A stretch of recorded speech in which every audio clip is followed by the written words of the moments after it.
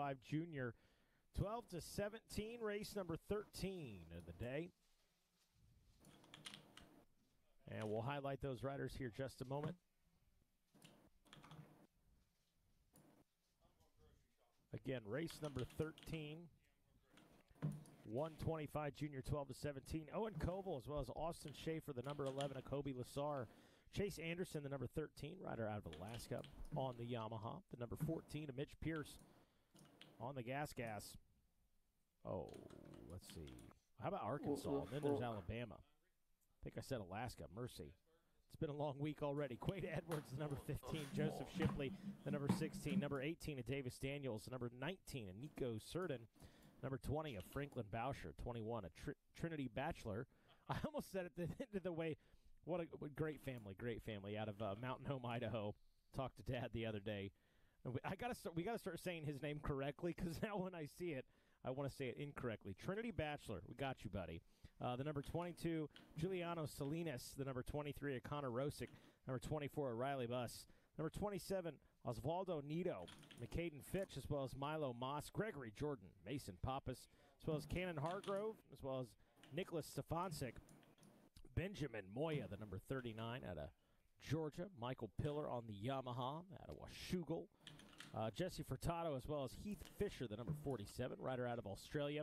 Number 49, a Brendan Harris, the number 50, a Chase Lawton out of Rhode Island on the Yamaha, the number 54, a Colin Steele out of New Mexico on the KTM, Dustin Davis, the number 58, oh, yeah, out of Oak Hills, California on the Gas Gas, the number 60, and Noah Voss out of Georgia on the Gas Gas, Jake Nora, as well as Nolan Murphy, number 65 out of Arizona on the Husqvarna, uh, Ryder Bednar, number 66, of Miguel Angel Rojas on the KTM, the number 67, of Ryder Reigert, uh, the number 71, of Jace Coy, the number 77, of Sebastian Gonzalez. They call him Seabass.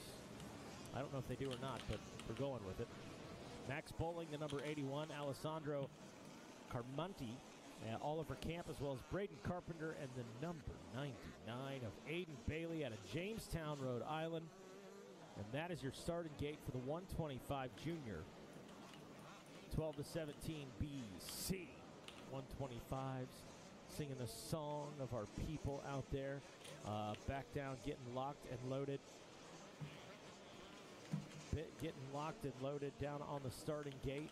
Dean was trying to dip, and we said, Dean, hang out with us and call Donald Trump. yeah.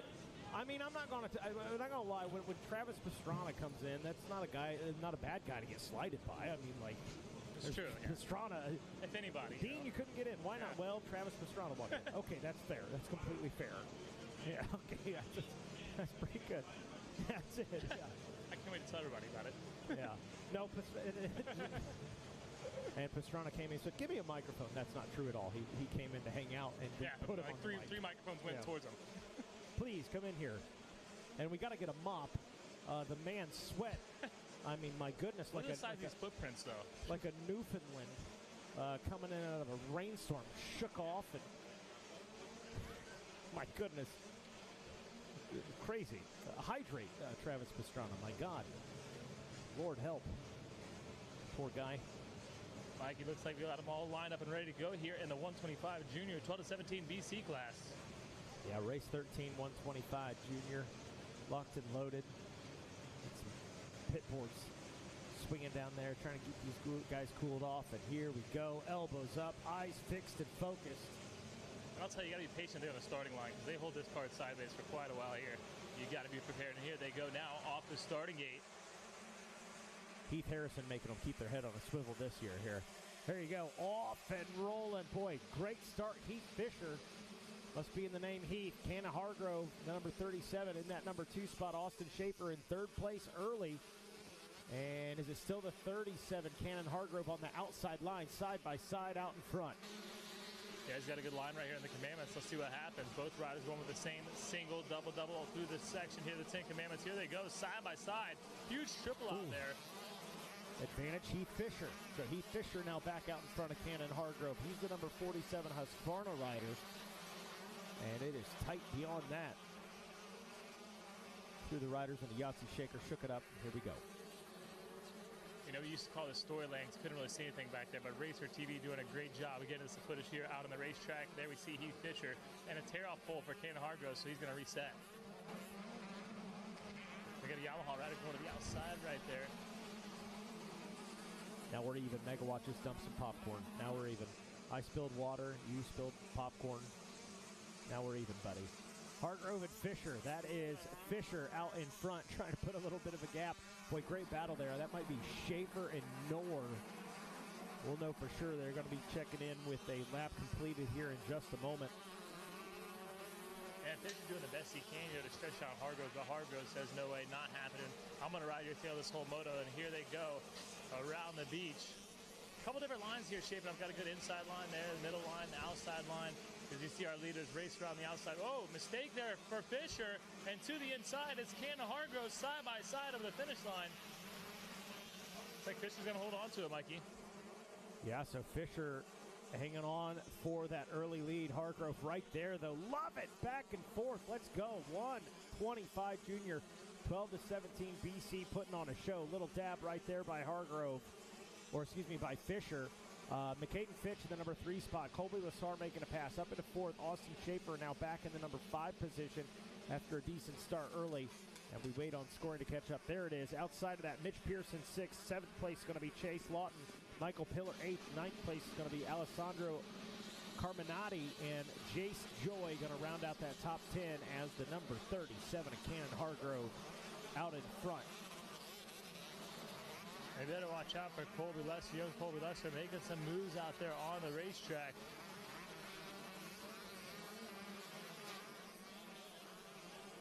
Yeah, he's definitely got the high tag right now. He's making a push to the front of the pack.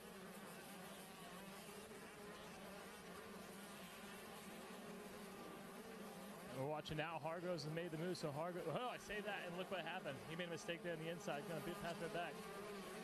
Go back and forth early in this one. One lap completed. Oh, that was actually the battle with Lesser and Fisher. That's for Oh, second, yes. third, as Hargroves is starting to pull away. Hargrove trying to put a little gap out there. Through the sand wash, so it looks like Lesser going to have a move right there Rough. on his Yamaha. And got the inside set up on Fisher. What can Fisher do to counteract? Rough and rowdy through that section right there. There is Hargrove. Oh, little dab. Small mistake right there by Hargrove. Regroups quick. There's the big jump right there. That was beautiful. right into the beach. You, know, you go to the beach, you get those guys, you know, they hang back. He's right up front there as he launches into the beach. Pick up now as they make their way through the finish line. This whole battle's getting tight right here. About Yeah. five guys deep. Yeah, Fitch really pushing the issue. As Cannon Hargrove, as we saw, made the pass. He is in the number one spot as McCaden Fitch Yeah, in that number two spot now. McCaden Fitch doing some great work there through the sand wash. We've seen it. And through the mechanics area, we're going to watch Cannon Hargroves. And I think he's going to get pressure here from McCaden Fitch. I think so. He's, he turned a Fitch turned a 159.6, so he's got that sub two minute lap time. And when he checked in, 0.8 seconds, but forget it, throw it out the window. He's right there. He's within sights. His insights. I love this view right here. We're going to see a little bit of an option change here as we've seen the second place rider Fitch. He's going to go to the outside and double end. But it looks to me like Hargroves made it through there a little bit quicker with the inside. Yeah, Fisher looking good back there as well. Lassar fourth, fifth. Uh, let me show some love to these guys outside of that top 10 now that they checked in with two completed. 11th place, Gregory Jordan, Riley Buss in 12th. Brennan Harrison in 13th place. Jace Coy, 14th. 15th place, Mason Pappas. Owen Coble in the number 16 spot. Dustin Davis in 17th. Giuliano Salinas, 18th. And 19th place is going to be Benjamin Mora. And rounding out your top 20 is going to be Jesse Furtado, and that is your Cometic Gaskets top 20 rundown. And Mikey, thank you for that top 20 rundown because there's a lot of heavy hitters there that are buried in the pack. Of course, Gregory Jordan, Riley Bussey, Brennan Harrison, Owen Coble. These guys could win this thing, and they're Yeah. they're inside the top 20. Hey, welcome to the Loretta's, right? Absolutely. Everybody envisioning themselves grabbing that number one plate, or at least a large majority of it. That is, Fitch must have had some issues. Sorry to pick that up. Colby Lester looks like Yep. he's made a move now on Fitch.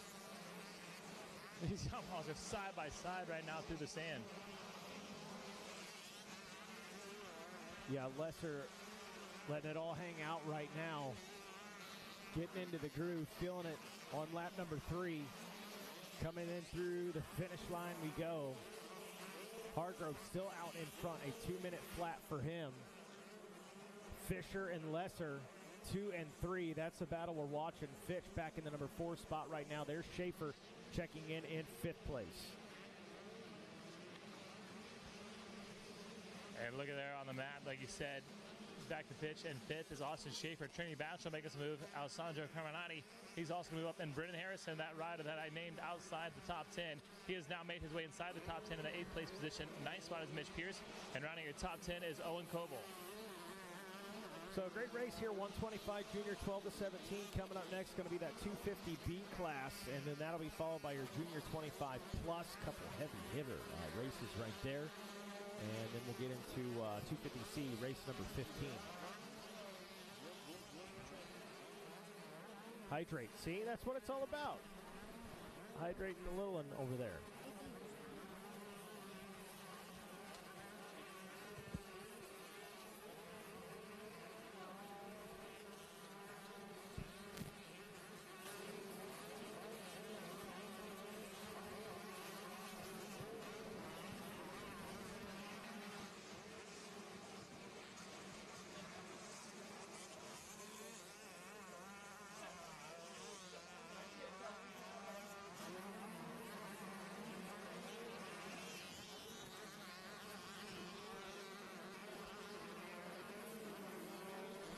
So got uh, Lindsay Sheltema up here. You got the young whippersnapper with you, hydrating. How are things going for you here today? Really good. The week has been going strong. We have over 70 coaches here this week, and it just seems like every year the number grows, and the the more recognition and the more legitimacy that we're bringing to the industry every year, it just grows and grows. And you know, it's been really exciting to watch all the coaches out here supporting yeah. their riders, and it seems like everything's been going really well this week for everybody.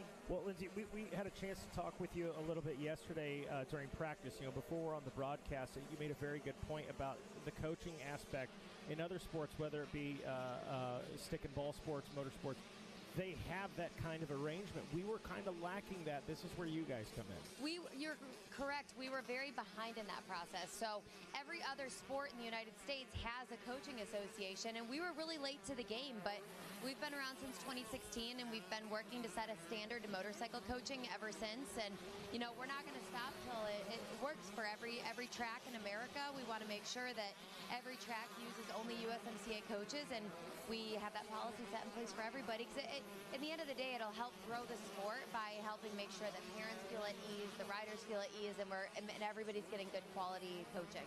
I, I, love that because you, you, look at our sport over the years, like we're, we're like outlaws, right? We're, we're like the degenerates of society, basically. But uh, it, it, has really gotten structured, really over the last couple of decades as well. Uh, and you guys are helping push that forward too, and it's it's good for everybody. Um, I think back to like 2020, we talk about how uh, we didn't know what was going to happen with the industry, right? And then uh, suddenly people rediscovered motorcycling or they got their kids into motorcycling so we need something like you guys are providing. This is exactly what we want to offer. We want to we want to make that safe place for people to get into and grow, and this is how we do it. We do it through getting involved and getting connected with a coach at the bottom level because the barrier to entry is so intense with our industry. So it helps if connected with a coach first, and that coach can help walk you through. Our coaches are mentors to help people grow in the sport and get the help they need and get the gear they need and the bikes they need and the help that goes with all that so many different aspects, uh, a lot of moving parts for it. Um, you guys are out here at Loretta's this weekend. Uh, tell us where, where can folks find you? Where can they find information, etc. Absolutely. So if you want to get connected with a coach in your area, go to motorcyclecoaching.org. If you want to come and visit us, we have our, our uh, USMCA tower right behind the mechanics area in the first turn. Uh, Mark and myself are here all week, and awesome. we're here to answer questions. We're here to get connected and, and help make that next step in your coaching journey. Awesome. Lindsay, thank you so much. Thank you. Uh, welcome anytime. Bring the youngsters. Thank you. Yeah, we've got plenty of snacks. Young Rippers. That's it. Yeah, little Rippers. We'll take it.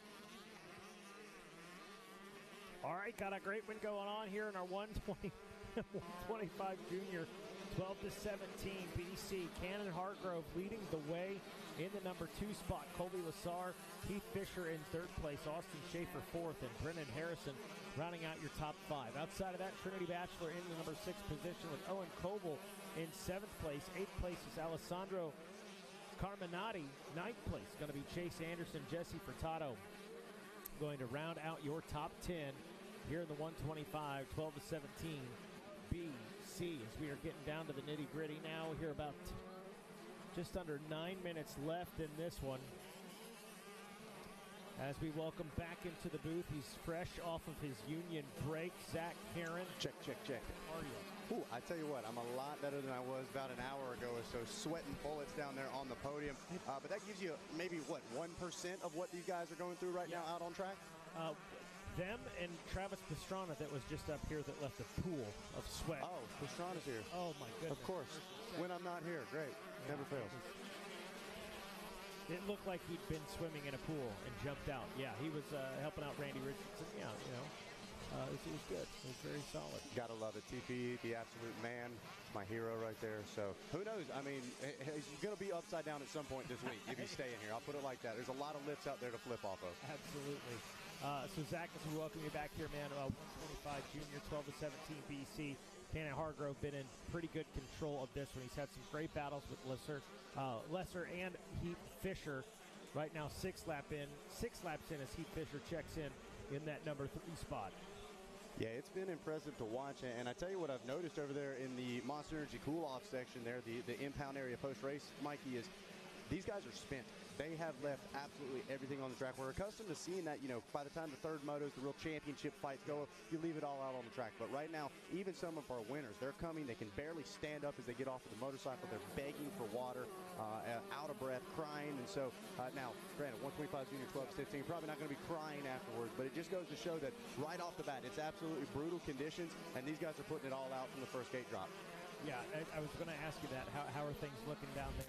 Um, and I'm sure you've seen uh, every every side of the emotion as well as like some guys really really stoked on their finish, and other guys very upset about their finish. Absolutely. Well, and, and that's the beauty of the impound area, right? You've got first all the way back to 10th place. And uh, as somebody that was just stoked to be under the impound, you, you see that, right? You Yeah. see dads hugging kids, happy tears. But then you also see that kid in ninth place that was saying, I cannot take anything less than the third place. You see those those upset, the, the failure as much as the successes. So uh, it's really the, the tale of both sides of Loretta Lynn's out there. We say the ride that dreams are made of. Well, nightmares are dreams too, right? And so some of those guys having a nightmare first moto, but if you find yourself under that impound, you have two more opportunities to put in good results. You could end up inside that top five. So definitely had some guys that thought they were going to be in a title fight that have got a lot of work cut out for them. But then you have riders uh, like Drew Adams, right, coming from dead last all the way back to that fourth place spot. And while we didn't get to chat with him on the podium, he had that fight in his eye. He was ready to go a whole nother 20 plus two if needed. Guarantee it. That's one of those where you think to yourself, "What could I what could I have done with one more lap?" Yep. Uh, that was one right there. Well, and I heard you guys say too, if he wins this championship, it's because of that moto Yeah, right there. Kevin Kelly made that comment. Absolutely correct. Um, just a good example to any whatever class you're out or you're in out there. Um, you don't give up. Uh, I know we don't all have the talent that Drew Adam has. Oh yeah, absolutely. But, it's, it's definitely well, and it's hard. It's more than talent too, right? We know that as well. It's a lot of hard work. Obviously, he's got a great group of people around him. Not only just his family, but his actual racing family and team as well. So. Uh, Similar to what we're seeing out of Cannon Hargrove right now. It seems like he's Yep. got all the pieces put together, consistently running around that 202 lap time, and uh, right now looking solid out front. Yeah, he's been under fire quite a few times. Man, Colby's been able to reel him in, but he just kind of checks up, unable to make the pass on him. And there's nothing more frustrating than that too, where Yeah. every time you start to catch him somehow or another, either you make a mistake or he finds a hot line and pulls back away. So right now, the number 11 Colby Lassar really in a tough spot, but he's still within striking distance and he's putting the pressure on Hargrove. Well, you can see it in Colby as well. Ooh, might, might have just missed a mistake right there by Colby, just off screen. Maybe not. Uh, but the front number plate just coated uh, in dirt and mud right there. That tells you how close he's been to Hargrove and just how many battles he's been in. Meanwhile, Hargrove, hey, bike is clean. Yep. He has been able to get out front and kind of control the tempo. And I tell you what, Mike, just looking out of this tower right now, you're starting to see the sun is beating down. It's a nice, cool 104, it feels like outside. So uh, the, the track is drying out as well. So obviously, you've got that moisture, that loamy type uh, soil on top. Obviously, the, the Monster Energy sand wash, super sandy conditions. But they're now starting to get down to a little bit of a harder base as well. So you're seeing some riders making simple mistakes, and uh, these ruts are really giving riders some, some fits too, especially in those Ten Commandments. There is Lassar right there on Racer TV, watching him in that number two spot. Trying to keep pace with Cannon Hargrove. Brand, Brendan Harrison still third. He's Watch this, Mikey. He's trying to run that inside. That Thor sand sweeper. Look at that. Back down. Bermuda like. Triangle. Coming into the finish. Hey, this is going to be good. Colby's saving some for the end of this one. Looks like the two lap card is out now, so your leader is officially bringing out the card, and uh, looks like that means it's go time. Is the number 11? Look at that. He shows a wheel up alongside your leader. They're getting ready. I, I would, I'd love to see what the pit boards are saying right now for both of them. Right? Remember the breath. Remember the breath. Go. I love the, the go faster, as if I wasn't aware of that, Dad. Thank you. Well, he knew you could go faster. Your money. Yeah, Dad absolutely. knew. Dad knew. Lester going to work. Right up the gut there. And I tell you what, I, sorry to cut you off there, Mikey. I just noticed Brendan Harrison has cut that gap between Yep. second and third in half. It was about 4.3 seconds, now 2.4. So be on the lookout for that gas gas rider as well. Try to shake things up here in the final two laps. There he is, right there. I was gonna say, There he is. One, two, and three. Throw a blanket over them. Not just any blanket, but a baby blanket. A newborn baby. They're swaddled right now. It's a two foot by two foot. that's, a, that's a big baby. 13 pounds, 5 ounces. That's a big baby. Hargrove, Lesser, Harrison putting on a show in the 125 junior class. They are 1, 2, and 3 as it stands right now. Two lap card out for the moment, but about to take the white flag here shortly for the 37, 11, and 49 all in one camera shot. Love it. That's what we're Look at this. Red is for. Trying to take the long way around. Harrison trying to make the move. Look at that. He launches it. Is it going to pay off for him? He pulls up alongside Lasar. Leaves the throttle on that gas gas. Couldn't get a BOGO. Looking at a two for one there as they come by the tower, and we got a new leader. Brendan Harrison is taking over the lead. That is as good as it gets. They were three wide into that turn, and like you said, a two for one. How about it for Brendan Harrison? We say it all the time. Uh, Megawatt's got a great. You can get a good start all day long. I want to see a good finish. He made the passes when it counts. Now he's leading the way around the white flag. Perfect timing right now for the 49. The white flag out in this one, one to go. New leader, leader, leader. That is the 49 gas gas of Brendan Harrison.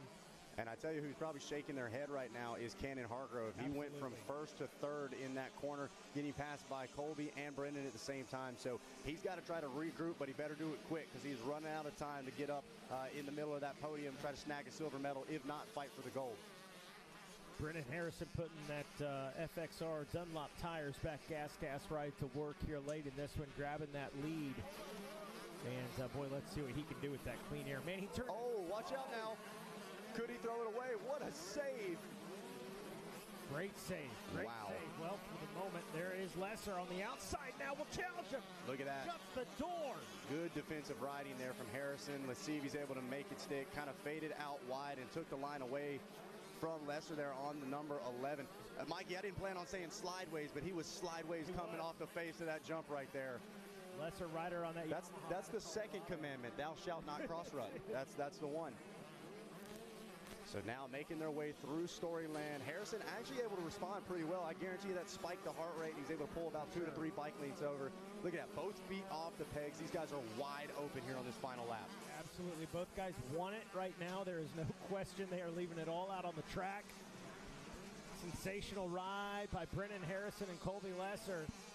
Lesser in the two spot. I got to give Lesser some credit. I think he's got a little more speed. Seems like he's got a little more pace, but Harrison doing a great job of putting that gas gas everywhere that Lassar tries to go. They're getting ready to buzz the tower for the final time. Let's see how it shakes out here in the Thor Sand sweeper. Harrison going to hug that inside, try to take the short way around. First place on the line in their first moto for the 125 junior coming together. Side by side, how's it going to play out? Looks like Harrison got the power to the ground, and Brennan Harrison oh. just barely by about half a bike length going to grab the win over Colby Lesser. Cannon Hargrove going to round out the podium here for 125 junior, 12 to 17. What a race! We're all here cheering in the tower right now. You know you're doing something right. That that was Look at this. More shakeups at the backside of the podium. Trinity Bachelor jumping up on that final lap and stealing away third place. a tough, tough last lap for Hargrove. An obvious mistake out there for him. Ends up checking in in the number seven spot. Trinity Bachelor going to take third place. Oh, is that Karen? If they could all be like that, my goodness. We I would love have the 180 heart rates up here in the tower. Loved it. I'm out of breath right now. I didn't train for this properly. So your top 10, Brennan Harrison and Colby Lesser putting on an absolute show. Trinity Bachelor making it happen on the last lap. will take that final podium position. Owen Koval fourth. Heath Fisher fifth place. Austin Schaefer sixth. Ken Hargrove a tough break for that young man. Will take a seventh place. Alessandro Carminati eighth. McCaden Fitch ninth. And Jesse Furtado will round out your top 10 and the 125 junior 12 to 17 race number 13 coming up next is 250b we'll take a short little baby break and we'll be right back down on the podium that's right that's right okay uh, we'll take a short little break. Jackson Burrow will be down on the podium with our top three here in just a moment. And uh, you guys are going to get to hear from our good buddy, Kevin Kelly, after that one.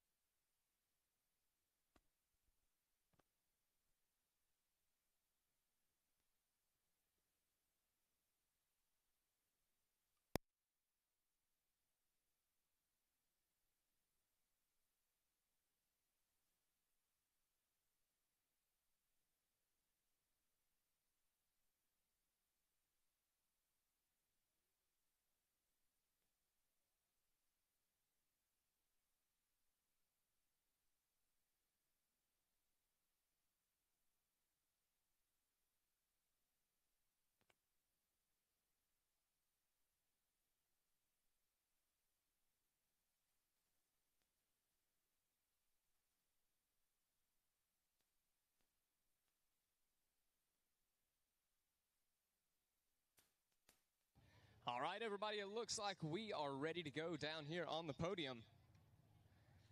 Gonna start things off with our gold medalist here in Moto number one, the 125cc junior BC class, Brennan Harrison, man. Congratulations.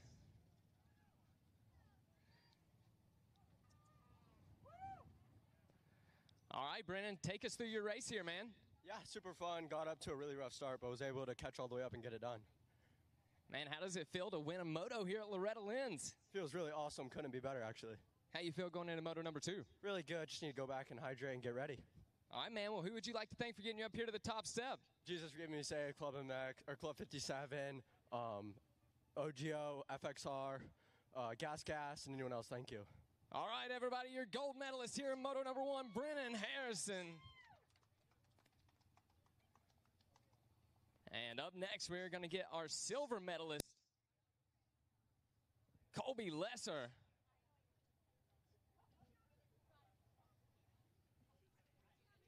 And here we go, here we go, making his way up.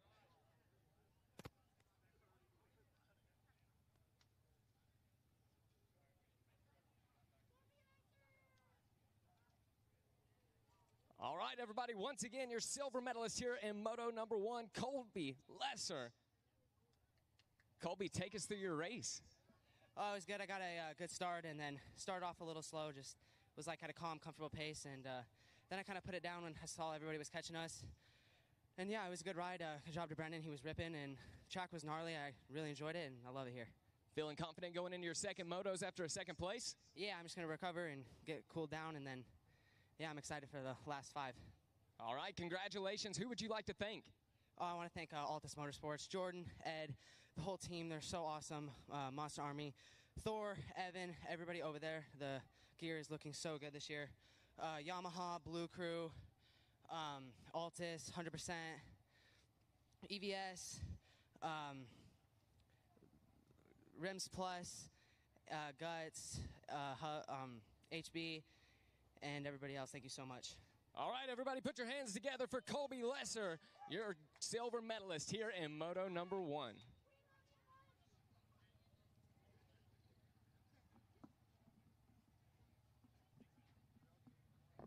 And up next, going to be your third place here in Moto number one, Trinity Bachelor. Man, going up and getting it there on those last few laps. Take us through your race. Yeah, I got off to a not so great start and uh, was able just to like slowly climb my way through the pack and uh, yeah, it was good. I mean, not really much you can ask for. Man, throw that medal on real quick. And who would you like to thank for getting you up here on the podium? My mom, my dad, Hunter Racing, Canada, Fly, um, uh, uh, Moto Sandbox, uh, man, FMF. Yeah, Sport Support, Alpha Dynamics, um, Factory Connection, if I haven't said that. Um, everybody else, thank you. All right, everybody, let's hear it for your third place, Trinity Bachelor. And we have one more thing left to do down here on the podium, and that is to give out a Stacyc Whole Shot Award, Mr. Heath Fisher. If you could make your way up here to the podium. And here you go, Heath, man. Take us through that start. Um, yeah, just yeah, I don't know, just ripped a good start, I guess. Thanks, uh, Lynx Racing, Tamer Whole Shot, uh, Get, and um, Dog Pound. Yeah, thank you. All right, everybody, that's Heath Fisher, your whole shot artist here in Moto number one. Back to you guys.